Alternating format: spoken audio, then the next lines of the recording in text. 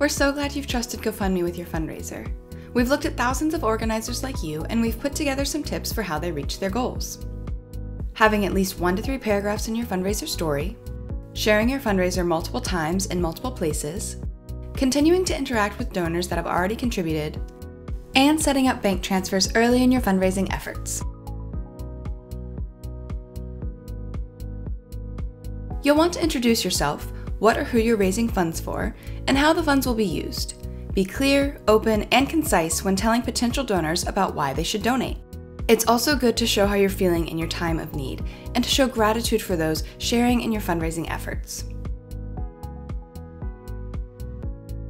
You'll want to start sharing right away. Meet potential donors where they are and share your fundraiser in many places. Our world has a lot of noise, and posting multiple times means you're more likely to reach donors. People who donate to you care about you and your cause, and they want to continue to hear from you. You can keep in touch with them by sending thank yous and posting updates. And remember to ask those who've already donated to share, as it's a great way they can continue to support you. We recommend setting up bank transfers or adding a beneficiary as early as you can. Even if you don't need the funds right away, sometimes additional documents are needed, and getting started early ensures that funds smoothly get to where they're needed. For more support, our Help Center article on the four key actions for your GoFundMe fundraiser is a great resource, and you can download our checklist to work through in your first couple weeks of fundraising.